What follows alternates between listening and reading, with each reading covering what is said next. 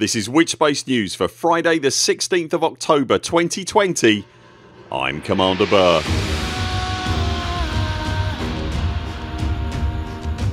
In this weeks news the return of the Thargoids. FDev moves the Monday Supercruise News livestream The problem with combat The problem with mining if you enjoy this video remember to subscribe to the channel and turn on notifications and if you'd like to support our work you'll also find us on Patreon. Links to everything you need are in the description below. The current round of community goals continued apace this week after last weeks shoving match between the Marlinist refugees and the Empire finished on Wednesday the latest community goal hit a full hour earlier than usual at 1300 UTC and it sees the much anticipated return of the caustic alien menace the Thargoids. In what appears at least right now to be yet another concurrent thread running in the galactic storyline the Thargoid appear to have begun an attempted infestation of the fairly recently colonised Witch Head sector as soon as the news broke the anti-Thargoid community sprung into action and began loading up fleet carriers of eager combat hungry pilots. The current infestation stops short of the pattern of invasion we'd seen from the Thargoid before. There are no combat zones or burning stations but rather the meanie greenies are swarming 5 key systems controlled by the Alliance in the region the Anoros, Lembas, Haki, Wellington and Shenve systems. Quite what the Manderbuild Horrors beef is with the Alliance specifically in this instance and why they've chosen to leave the Feds or the Imps alone for the moment is anyone's guess. Could it be related to the recent use of Thargoid biotech in the bombing of Imperial stations that was claimed by the Imperials Neo-Marlinist group? We've no idea but someone looks to have jammed a stick into the Thargoid's nest and the area is crawling with non-human signal sources as a result.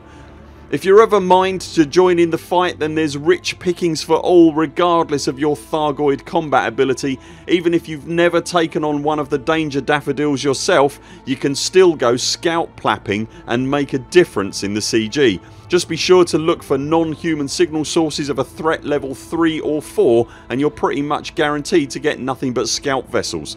The CG runs until Thursday the 22nd of October.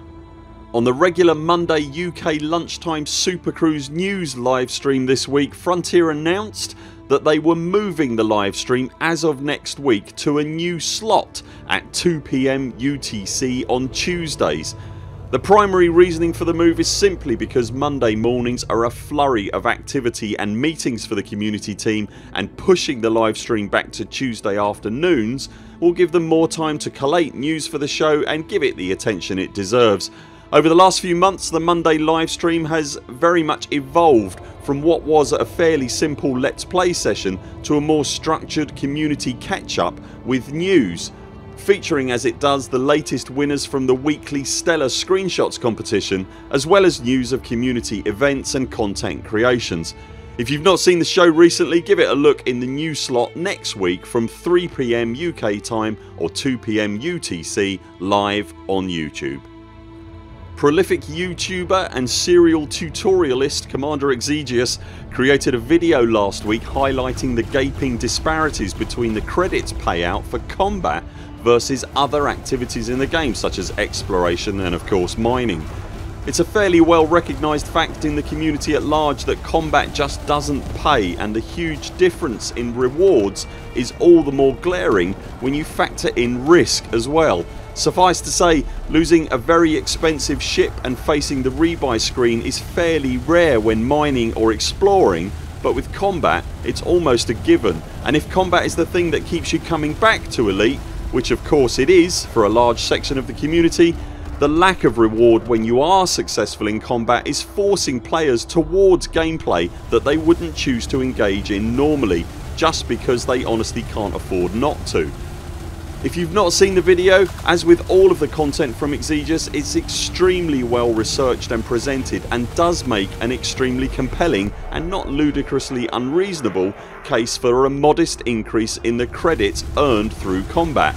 Regular watchers of the ED community will know that the issue surrounding combat credits earned versus other activities is of course not a new one.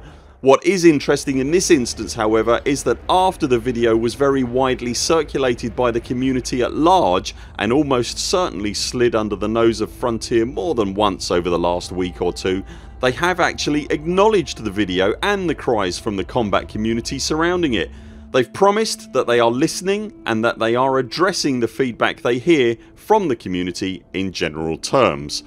Right now the game is obviously bearing down quite heavily on what is undoubtedly a huge update in the early part of next year when Odyssey launches.